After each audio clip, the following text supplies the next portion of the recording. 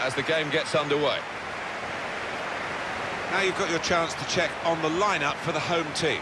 Steve Mandanda starts in goal. Angelo Ogbonna starts with Samuel Umtiti as the centre-backs. Samuel Eto'o is the main striker today.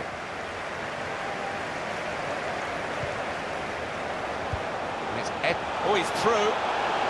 And it's a shot now.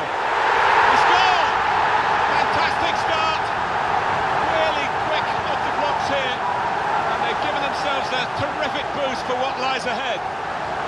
It's a marvellous sight. Even looking again at the replay, Alan, isn't it? A goal up in the top corner like that. Yeah, I think he'll enjoy watching that one later tonight. Always spectacular.